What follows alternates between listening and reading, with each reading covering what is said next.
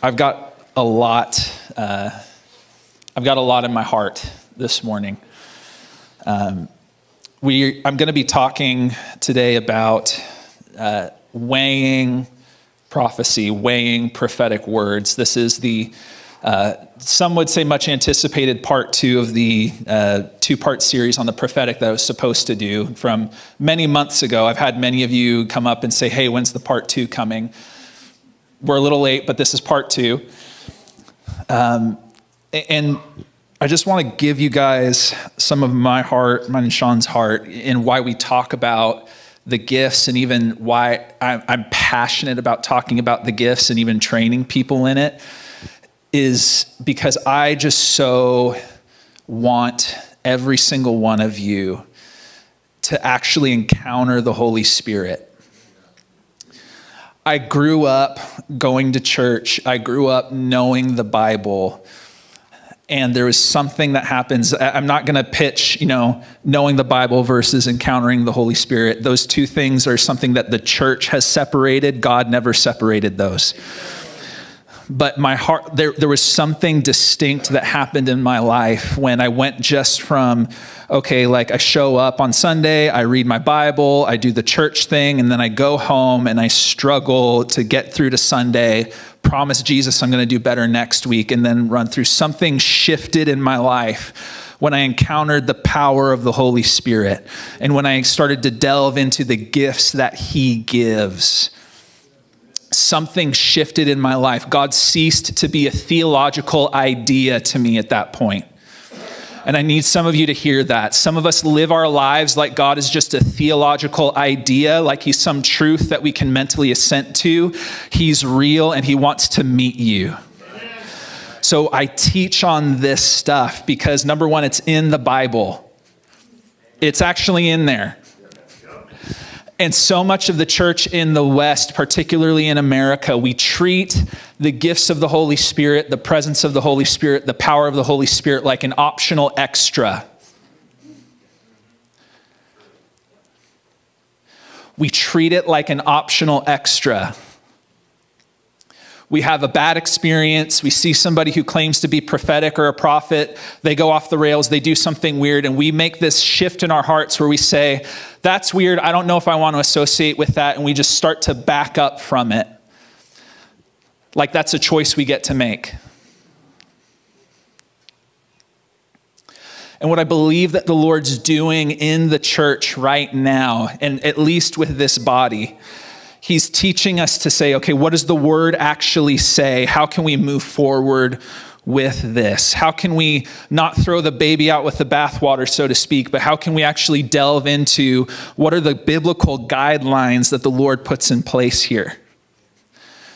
We're going to hit a bunch of different scriptures today. I'm going to reference stuff all over the place. So if you ever want to dive in more to some of what I'm talking about, because again, I'm going to be covering a lot of ground, just have notes and just take quick quick little you know tidbit notes of what i'm saying so you can go back and research it because what we're going to be doing today when we talk about the prophetic and weighing it i'm going to be covering a lot of ground.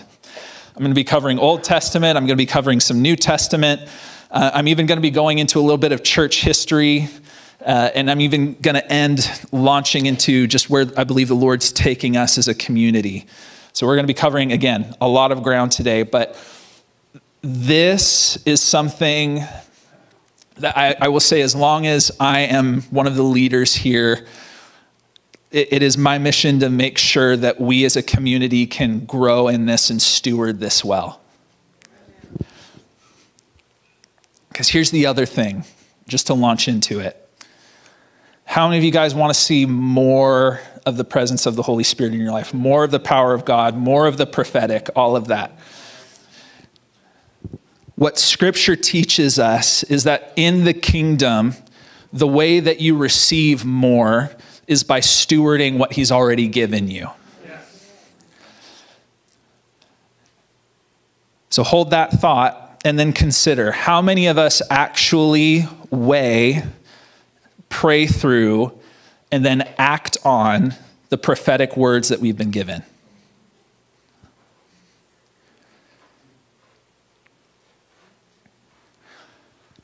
This is not to shame, this is to bring some awareness. I want, this is something uh, that I need to grow into. But most of us treat the prophetic and prophetic words that we receive, if I'm going to be honest, we wait until we're feeling really low. We dial up our prophetic friend, say, What's the Lord saying? Or we find another conference to go to. We say, What's the Lord saying? We treat the prophetic like a slot machine, pull the arm. I feel good for another couple of weeks. And then in, a, in honestly, not even a week, two days later, you forget what that person ever said, and you're back at it. Back to the same old routine. And I would say that Scripture actually invites us into something more than that. Scripture invites us into something more than that, and God actually has more for us in that area. One of the first scriptures we're going to look at is 1 Thessalonians 5, and it's starting in verse 19. You guys know how I, how I speak and how I talk at this point. I'm going to go all over the place. So if something hits you, write it down, grab it, because we're going to be flowing. 1 Thessalonians 5, verse 19 says, Don't stifle the spirit, don't despise prophecies, but test all things. Hold on to what is good, stay away from every kind of evil. This is at the end of a letter, so Typically, if you've read a lot of the New Testament, you start to get an understanding of the flow. Paul sort of starts off with a greeting, gets into the bulk of his point, and then at the end, he sort of throws together, you know, this is all the stuff that I wanted to say that I didn't get a chance to work into the letter. So we're at that point. And when he's writing to the church in Thessalonica, he's saying very clearly do not despise prophecies, do not quench the spirit. And as I was reading and doing some research, that phrase, how many of you guys know that Paul in scripture was like, it was written to a particular people and a particular place in a particular time, yeah? So that means that one of the things that we can do is we can actually look at phrases that are used, words that are used, and we can not only look at how they're used in scripture, but look at how they're used in documents from around the same time frame. Because again, like Paul's a part of this culture, he knows the people that he's speaking to. So we can look at how they're using those words and those phrases to get an understanding of what he means. Are you tracking? Make sense? So that phrase, don't quench the spirit, was actually used in a document that was talking about, at that time, the oracle at Delphi which for those of you who maybe don't know your Greek mythology or Greek history, this was somebody who was a, a pagan prophet, a prophet of uh, the Greek god Apollo, I believe. And they had noticed that there was actually starting to be a decline in the prophetic, quote unquote, prophetic activity of that oracle. And that same phrase, that quenching of the spirit, is that same phrase that was used. And I bring this up because some of us in our move back away from the prophetic or move back away from the gifts of the Spirit because it's weird, we'll take that don't quench the Spirit phrase and sort of apply it generally to a lot of different stuff. And that's fine and it can still mean that, but Paul really is specifically saying how you relate to prophecy and how you relate to prophecy that happens in your community can actually have the effect of quenching the work of the Holy Spirit in your community.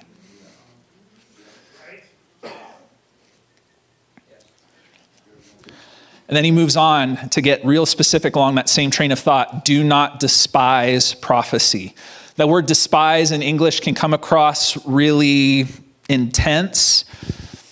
The gist of that word and what it means is treat as common, treat flippantly. So there's two ways that we actually do this pretty commonly in charismatic culture. One is what I just described. You get a word, Somebody prophesies over you. You don't record it, you don't write it down. You're just kind of like, oh, thank you, thanks God. And you just sort of, you know, put it on the back shelf, quote unquote, and then just move about your life. One of the other ways that we treat it as common is when we don't do what Paul says to do next, we don't test it. Because what does that indicate about the position of our hearts? If we believe God's speaking through somebody. He's given a gift to somebody and he's speaking. If we don't take the next step to test it, that actually communicates something about where our hearts are at, that we actually don't think that this is all that significant. And some additional context, like some of you are even getting uncomfortable just about me talking about the prophetic. That's fine. That's actually pretty common throughout church history, even all the way back then. That, why do you think Paul had to write these instructions? So, you feeling uncomfortable with it, you being like not sure about it, that's a very normal response. You don't get to stay there, however.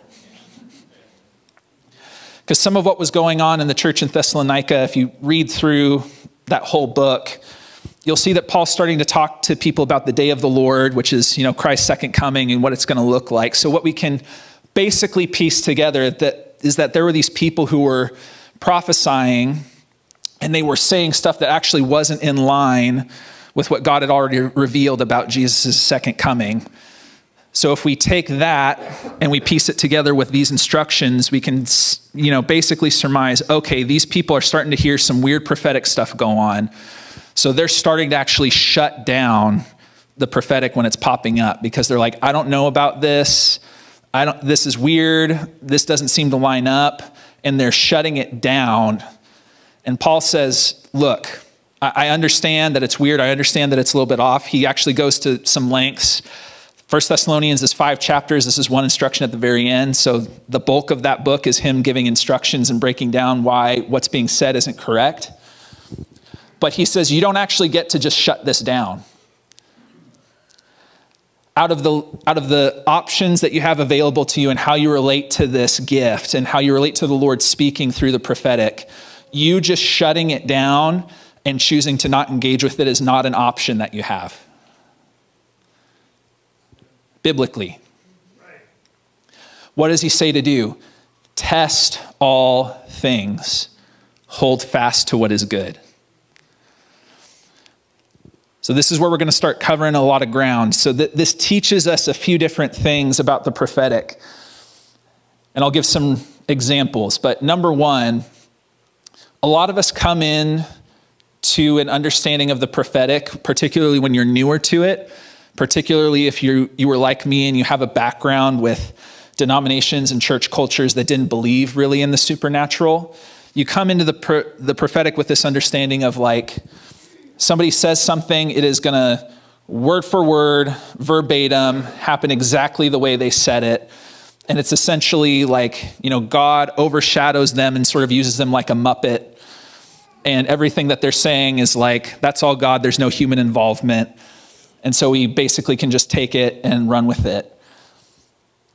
But the fact that Paul says here, test all things, and even in 1 Corinthians, which we're going to get to in a moment, where he says, let two or three prophets speak and the others judge, weigh what's being said.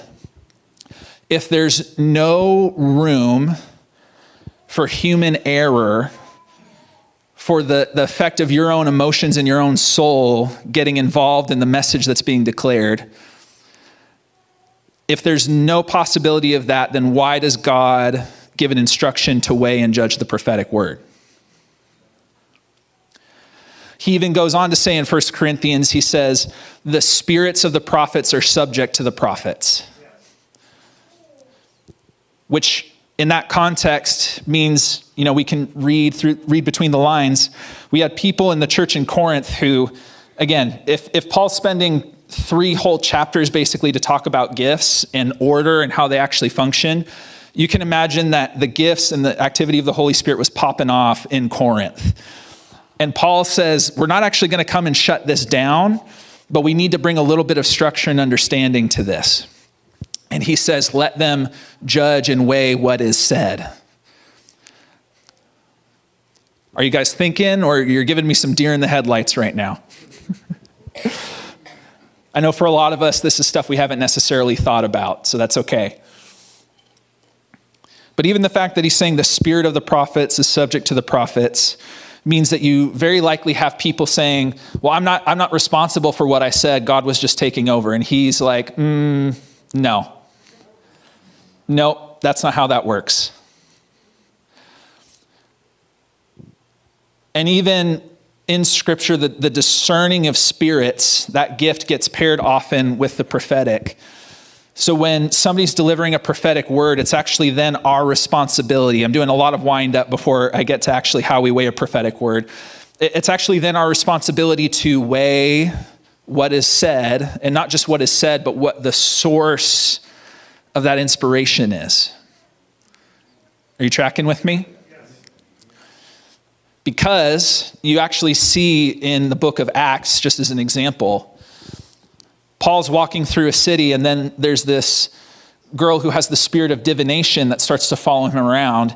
And for three days, she's shouting really loudly, you know, listen to these men. They declare to you the way of salvation. And most of us would think, I guess God's really moving. This is like, we're, we're used to getting beat and chased out of cities, and now people are welcoming us and like giving us free press, basically, inviting them to a revival meeting. Like, this is awesome. But then Paul, after a few days, turns around, rebukes the demon that's in her that was giving her the ability to discern what she was discerning. And then she gets free. What does that tell us? A couple of things. One of the things is that discerning and judging a prophetic word on whether it's correct or not isn't just about whether or not the content is accurate. Because was what that girl was saying true? It was.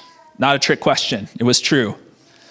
But the spirit that was operating in her, that was empowering her to see and discern all of that, was not the Holy Spirit. This is where and why playing with things like tarot cards, psychics, Ouija boards, all of that stuff is dangerous. A lot of us, because you know we, we grow up in a Western worldview that basically says anything that has any sort of spirituality to it basically writes, writes it off as foolishness. So you grow up under that and you look at those things, you know, Ouija boards, tarot cards, what have you, and you basically write it off as a parlor trick. And that can and does happen. However, if you not only look at those, but you look at the rest of the world, the rest of the world is very keen and very understanding of, like, yeah, there are these people who can discern, who can say, predict things accurately, but the accuracy of what they're saying doesn't mean it's from the Holy Spirit. Are you tracking with me? So, this is one of the reasons why we need to weigh prophetic words. So, we can, we can agree that that needs to happen, yeah? So, I'm just going to run through some scenarios and then I'm going to actually give you some practical examples from my own life and just the life of our church. So, when you look at, the, look at a prophetic word, there's actually three parts to it. A lot of times, what we focus on is just the revelation itself. That's the, the part one that's what we talked about a couple of weeks ago when I came up and I was talking about, you know, you can all prophesy. Paul saying in 1 Corinthians 14, eagerly desire the spiritual gifts, especially that you may prophesy. And even in Joel 2, where Peter stands up and is saying, you know, the, the activity and the giving of the Spirit means that there's actually a prophetic spirit in you called the Holy Spirit. And whether or not you believe you have that gift, you have the one who inspires prophecy living in you. So you can actually learn to hear his voice and say what he's saying. But that's just the part one. There's a revelation. Part two, there's an interpretation. In part three, there's an application. How many of you guys have spent much time reading through the Old Testament? Okay, we got a few of you. How many of you guys don't spend a lot of time reading the Old Testament because you're confused by what you read in there? Yeah. So this is case in point, right? They're receiving a revelation. There's a lot of a lot of pictures, a lot of allegory, particularly if you want to talk New Testament and you go to Re- the book of Revelation. You read a lot of stuff. You're like, why is there a beast with like all these horns and these heads? And why, are, why do some of them have crowns? And what's with these horses? And you're like, what's going on? that's the perfect, you know, it, illustrates my point. There's the revelation, but then you have to do the work of interpretation, which is where you start bringing in the weighing of the prophetic. Because I can see one thing, God can show me something, but I can't assume that I naturally am going to have the, the interpretation for it in that moment. Just one quick example. This was years back. Uh, I was praying for a young woman, and I, I, had my hand on her, and I was just praying, and the Lord was showing me a, a bunch of different pictures of flowers. And I, you know, if you've been sort of in prophetic circles for a while, you're like, okay, every, m- most people have received a word about flowers or seen a picture. Like, you're kind of, it's, you know, charismatic cheesy a little bit. So I'm giving her the word and some of the stuff that the Lord's talking to me about based on what I'm seeing. And then as soon as I'm done and I say amen, she pulls her phone out and she starts flipping through photos. And then she actually shows me probably 30 plus photos of these individual flowers that she had taken on her phone. She said, The Lord, for like the past month, has been highlighting these things to me. Just as I'm like out on my walks, as I'm going through my day to day life, He's highlighting these individual flowers to me. So I had received the revelation and I had some of the interpretation, but I had no way of knowing that the Lord was actually not only giving me a message through that, but He was actually giving a word of knowledge about something specific that was happening in her life. Are you understanding what I'm saying? She actually, like, I was saying one thing and it was still good, but it actually went that much deeper. And I had to be open to that in the giving of the word and in allowing the word to be judged. So we have the revelation, we have the interpretation, but then there's the application. How many of you guys realize that timing is important? timing is everything. One of the clear Old Testament pictures that we can look at is Abraham. Some of you already know where I'm going with this. God gives him this word You're going to be a father of many nations, and there's going to be a son born to you. He waits about 13 years. And then he and his wife Sarah say, I think I'm done waiting. I think we need to just make this happen. And what is that birth? That births Ishmael, which, if you track biblical history, becomes a whole nation that ends up being a thorn in the side of Israel, even to this day. And God even comes and tells him as much. This was not the promised son. He had the revelation right, he had the interpretation right. But because he got impatient and chose to force the application in a way that he wanted, he ended up creating more problems for himself. Here's an interesting one to think about too. Most of us know David and Bathsheba, yeah? We understand that story. At the beginning of that story, there's this phrase that says, In the time when other kings were going out to war, David was at home. And somebody, like, I had to sit under some teaching, and somebody pointed this out to me one of the key pieces of the, the Davidic covenant, the promise that God made with David, was I will give you rest from your enemies on all sides. So, one way that we can actually think about and look at David being where he wasn't supposed to be was he was out of season. He had the right word, the right, interpreta- the right interpretation, but he was out of season with his application.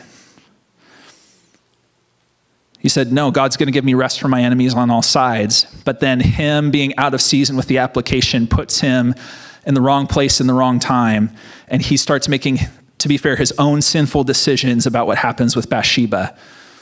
But if he was in season with the application of the prophetic word, he wouldn't have been there.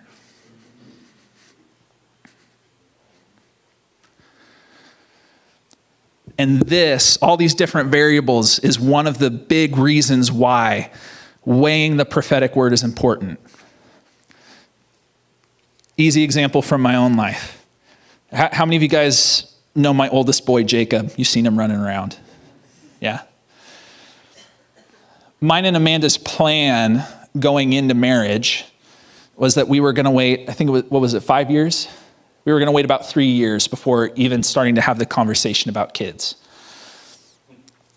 So I, you know, I'm very passionate about the prophetic. I'm passionate about pursuing it, learning how to help other people step into it. So I end up going to this conference. Uh, they called it School for Prophetic Trainers uh, up at the Mission in Vacaville.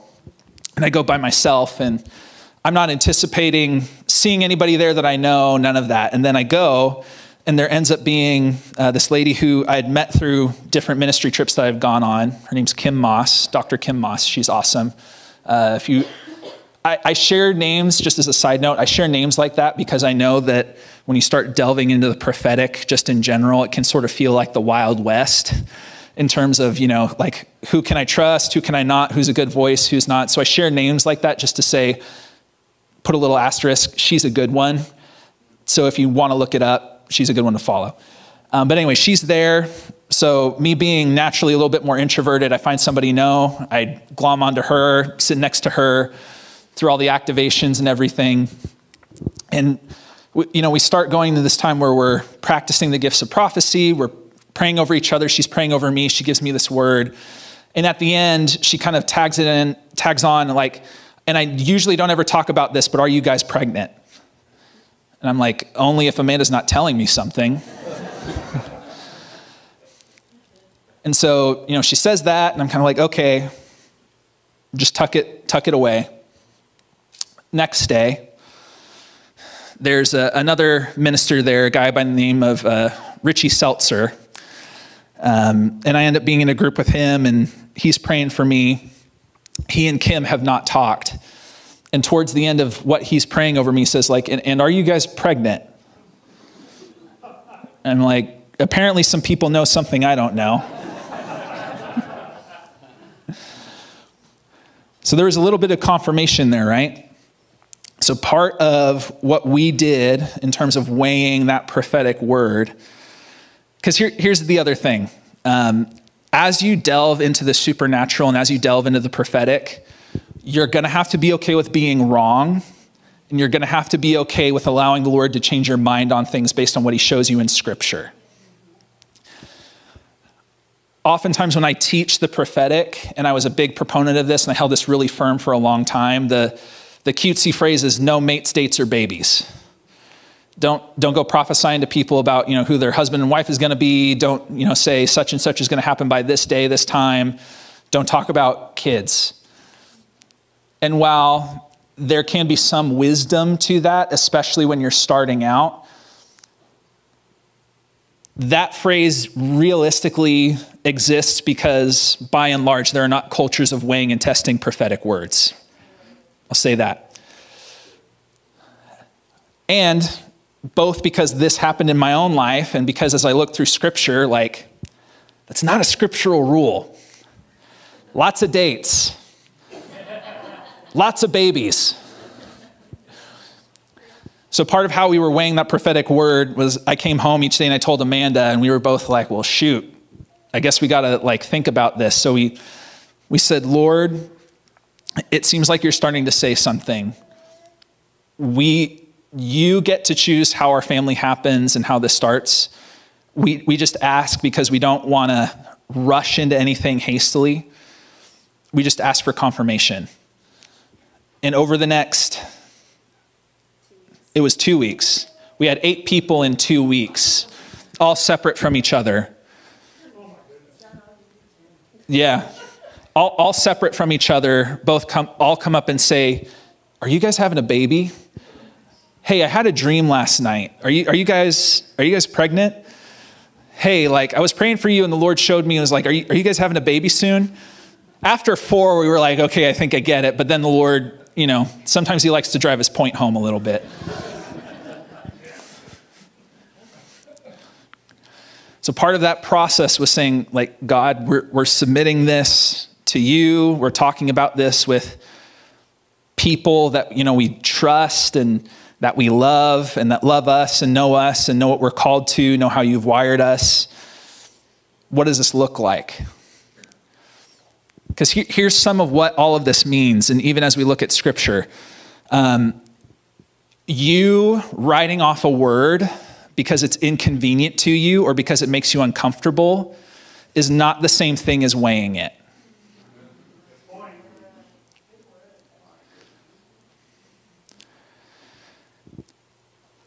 Because there's, there's a whole movement that exists within the prophetic and within charismatic streams where the moment there's anything that sounds like it could be possibly even the tiniest bit negative, they're like, no, no, that's not God.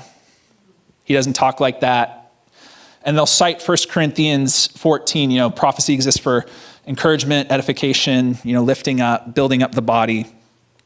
And all of that is true. Um, edification and encouragement can look like you need to stop acting the fool.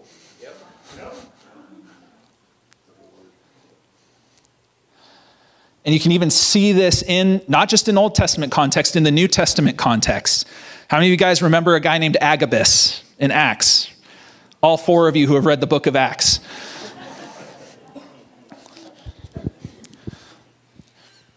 There's a word that goes out about a famine that's going to affect the whole world.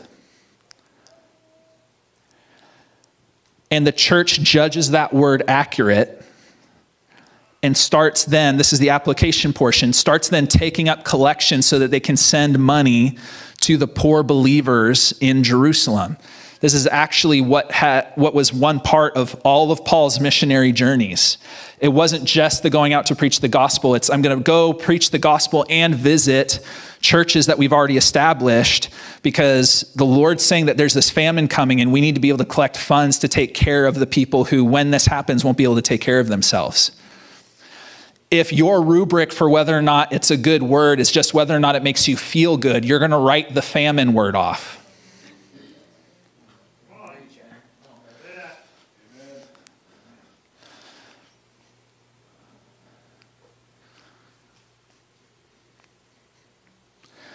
Just while we're on Agabus,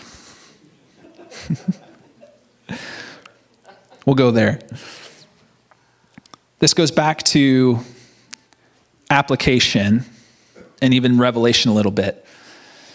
You know, I, I talk to a lot of people, particularly those who grew up cessationist like I did. They didn't believe that God still spoke through the prophetic and they get really zeroed in on like everything has to happen exactly down to like the hair follicle, exactly the way that this person said.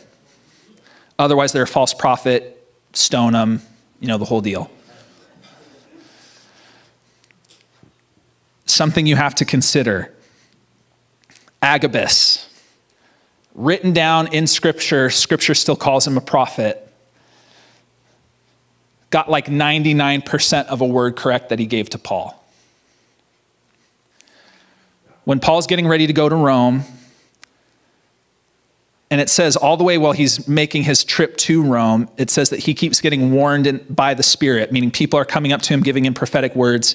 Hey, if you go to Rome, you're going to die. So here's even an application piece. They're assuming that because they're discerning that, that the right application is you need to run the other way and not go. And Paul says, no, this is actually confirmation that I'm headed to where I'm supposed to go. But Agabus comes to Paul.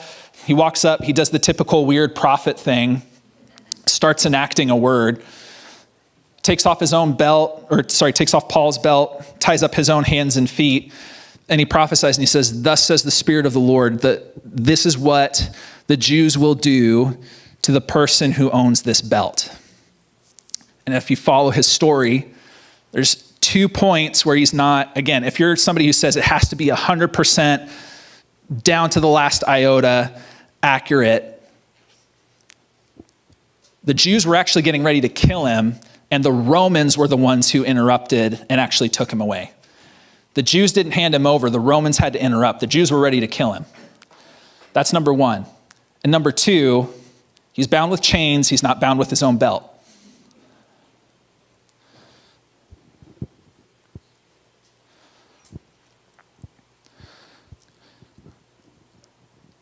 And really, if I'm going to get to the heart of why this makes some of us uncomfortable um, is I think we really want to feel like we can understand what God does and how He's doing it all the time.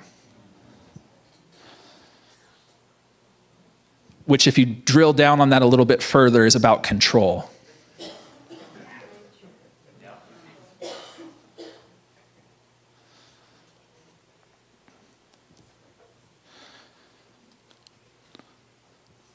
And even what we read in 1 Thessalonians,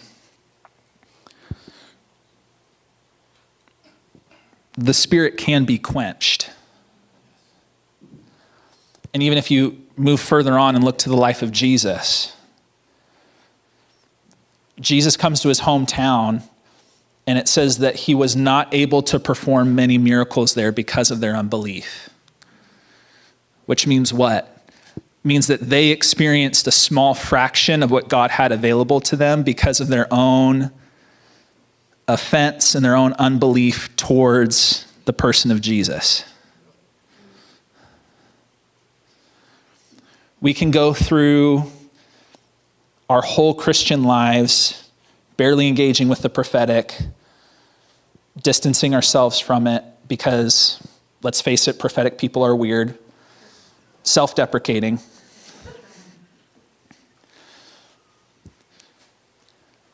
And the Lord is kind and gracious enough to say, if you make that choice, I will honor that choice but we will cut ourselves off from so much of what is actually available to us and what He wants to bless us with. I don't want that for myself. I don't want that for our family.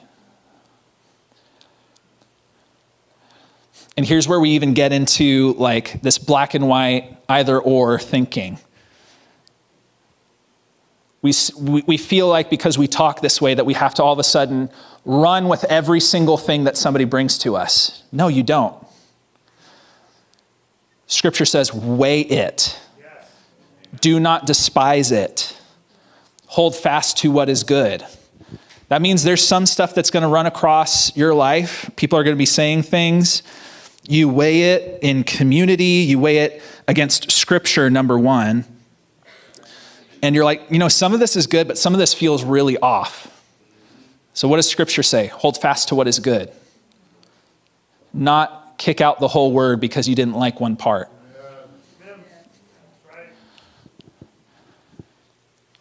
Am I giving you guys something to think about? Okay. One more example. And this is actually going to lead us into uh, what our next sermon series is going to be starting next week. I was sitting at home just maybe a week and a half ago, two weeks ago, and sitting and I'm just having my devotional, my quiet time. And the Lord comes in, and it was soft and it was gentle, but I, I heard this very clearly in my heart. And he said, The Rock of Roseville is about to walk into a three month period of radical receiving.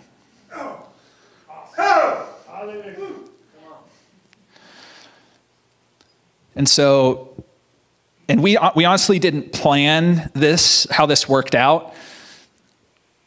But in, in just us keeping with scripture, weighing and testing the word, it ended up being a perfect example for how this works. So I didn't receive that word and then immediately jump on social media to do a live and, you know, tell all my people.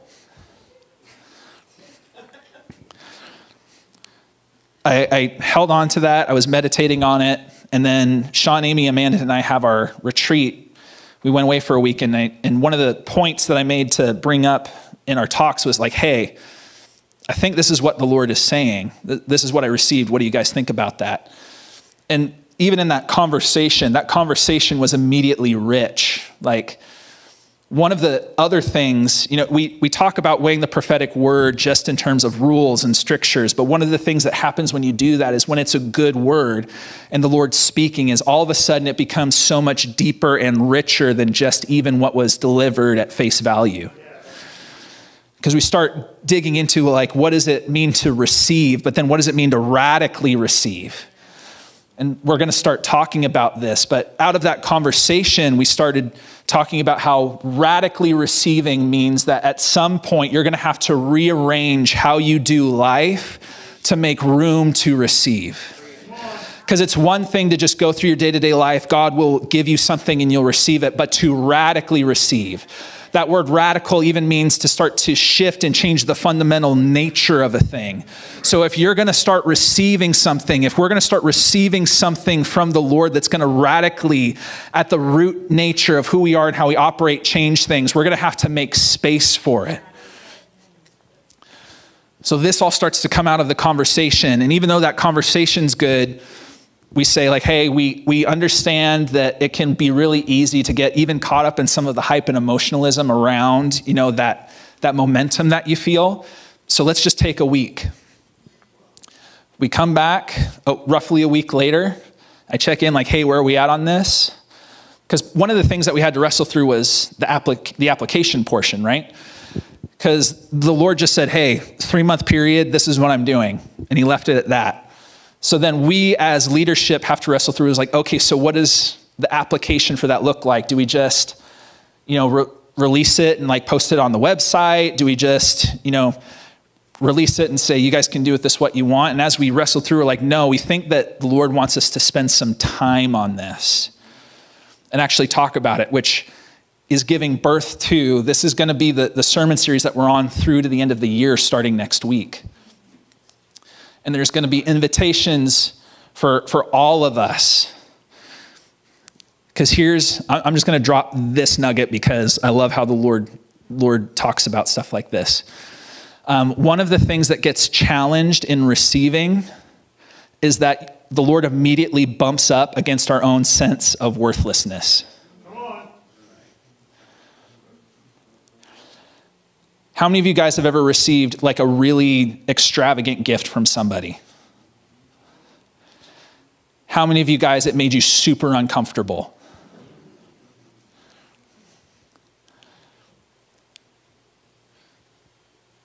That's the Lord pushing up against. Like, we, we actually, because of our own belief that we're unworthy, even though the blood of Jesus declares something different, we actually, when the Father wants to pour out, we step back. Because we say, I'm, you want to give me that? I'm not worthy of that. I don't think you understand.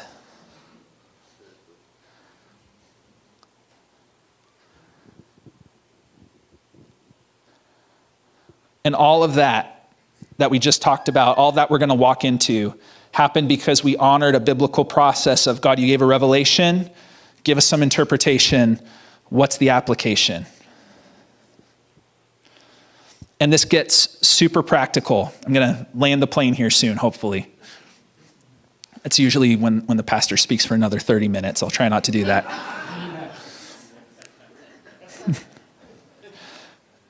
some practical steps, because I've talked a lot about a lot of big concepts, but some practical steps. If somebody's giving you a prophetic word, they're praying over you and you're like, hey, I feel like the Lord is saying this or he's showing me this, ask them to pause. Most of us have smartphones. Your smartphone has this awesome thing called a recording app. Grab your phone, pull out the recording app, just record it. Because as much as you think it's the most impactful thing that you've ever heard and your life's going to be changed and you're never going to forget that, you will forget tomorrow. Personal experience. So pull it out, record it. Recording it then allows you to actually, well, a couple of things. Number one, it allows you to actually be in the moment and just receive instead of having to, you know, try to dissect everything while it's happening, which actually becomes a barrier to receiving in and of itself. It allows you to receive what's happening in the moment. Then you can go back and you can be diligent. You can compare it against the, the scriptures. You can compare it against other words that you've received. You can compare it again, you can share it with friends and family who know you and care about you, who can say, like, yeah, that's actually in line with who I see you to be, and I think God's calling you to something more. Or they can say, maybe, but I don't know about the timing. Or they can say, that was just bad. You should delete that right now.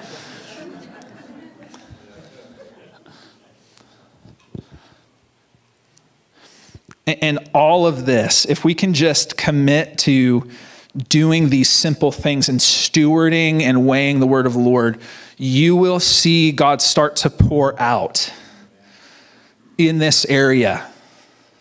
For some of you, it's your dreams. you would be surprised the amount of people that I talk to that dream every single night and can say, yeah, a lot of these dreams come true within the next couple of days or a week. And most of, the, most of you, I love you, most of you do not write them down. And as somebody who dreams maybe twice a year, I am irked.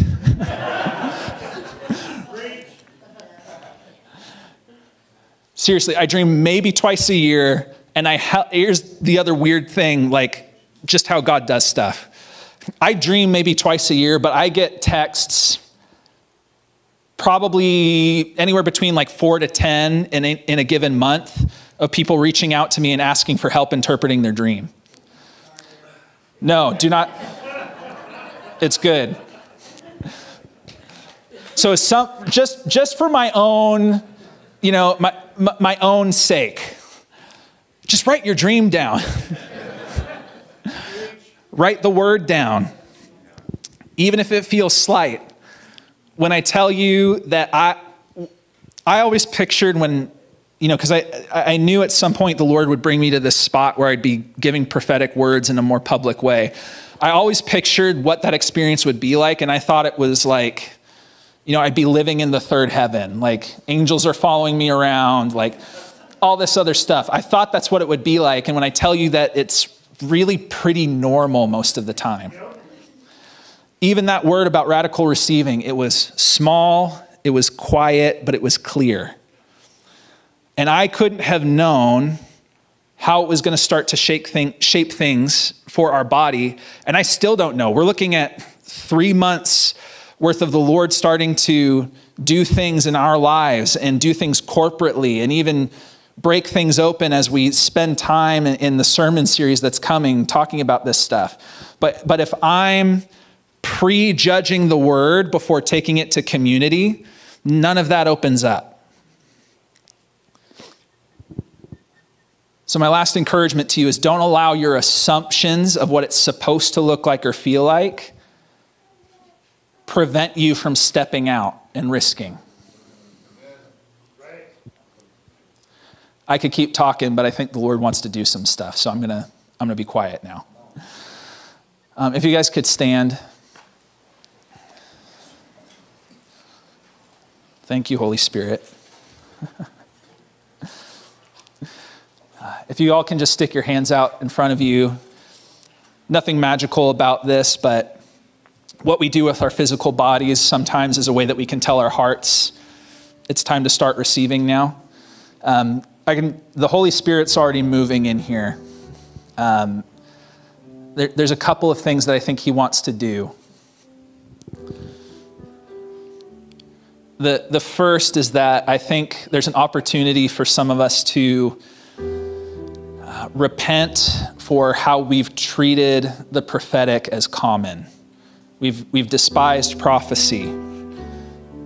To quote again, 1 Thessalonians. And here's, here's, as I've been meditating on this this week, here's something that the Lord keeps bringing up to me. Um, cynicism and discernment are not the same thing.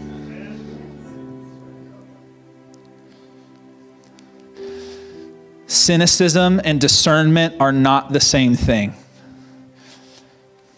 Discernment will prevent you from stepping into a bad word, but it will also propel you into a good one. Cynicism will stand back and say, God has to prove to me that this is going to happen before I say yes with it.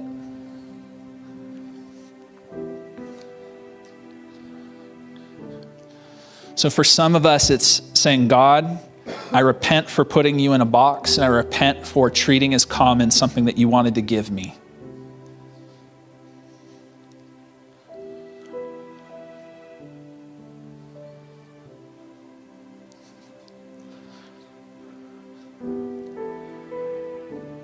Thank you, Lord.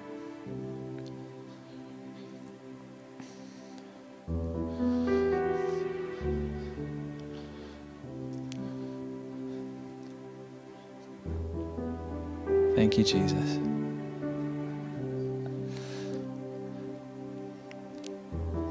Some of what I believe that He's wants to do in this moment, I believe He wants to release impartation.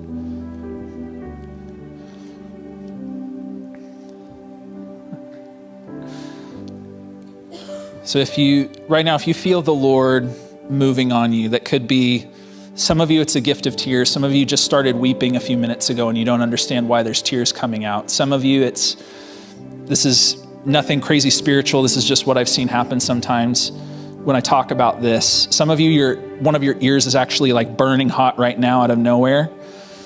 And some of you, you're feeling the Lord like touch you physically. That could feel like a weight, that could feel like electricity, that could feel like power. If any of those things are you, or you just feel the Lord moving on you, can you lift a hand?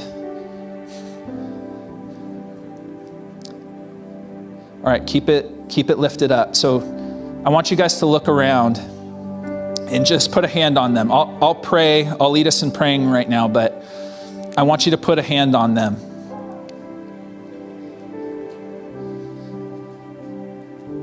More Holy Spirit.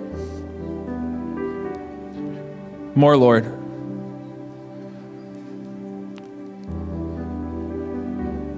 More Lord.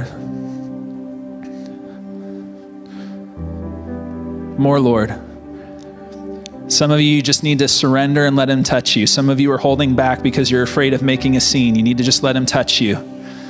This isn't about you, this is about what the Lord wants to pour out. So, Father, we just say more.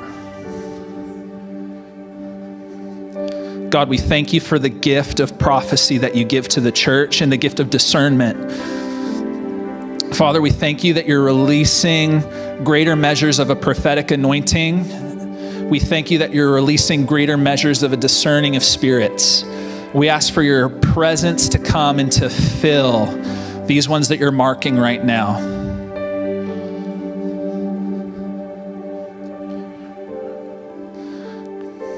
Fill these ones that you're marking right now.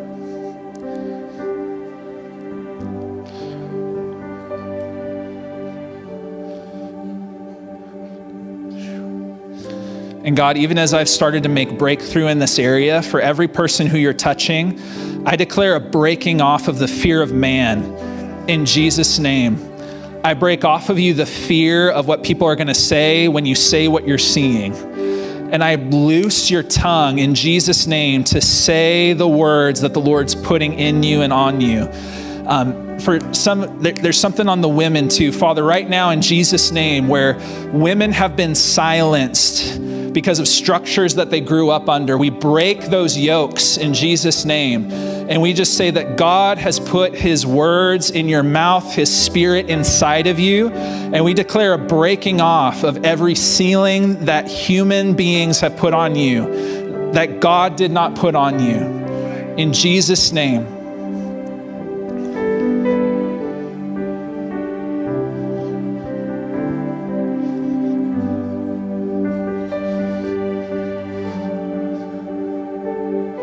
More, Lord.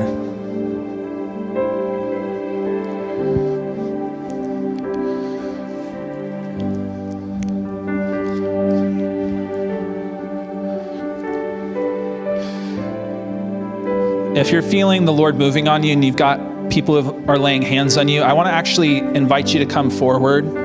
Um, we're going to start to close the service here in a moment, but I want us to create some space to just continue to receive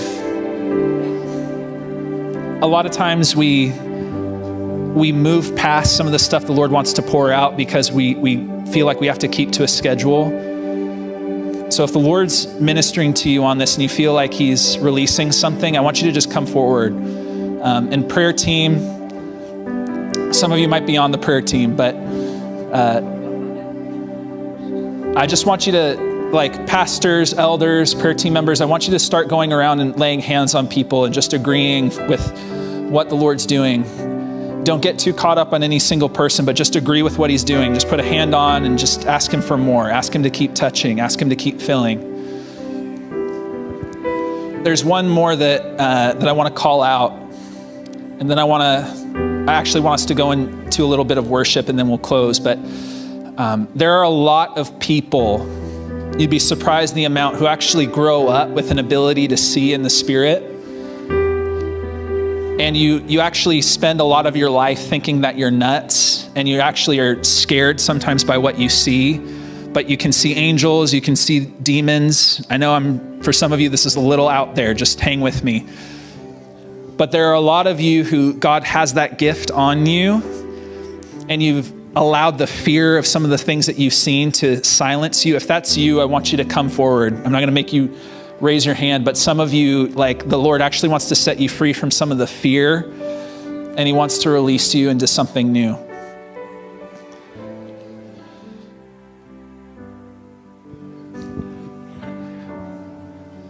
So at this point, um, we're just going to continue to allow the Lord to move here, but at this point, I'm going to have the official close of service. So if you need to go, you need to pick up your kids, be released to do that. Um, I do ask that if you want to visit with people, just to honor what the Lord's doing in here in the moment. If you want to visit with people, I just ask that you take it to the lobby. Um, so be blessed. If you want to stay and participate with what is happening here, if you want to receive more, even if you didn't feel like any of those words that I gave resonated with you in terms of how the Lord's moving on you, but you want to receive more, please come and get prayer. If you need healing, please come and get prayer. Um, otherwise, God bless you. Be released. You can go pick up your kids and you can fellowship with each other in the lobby. Love you guys.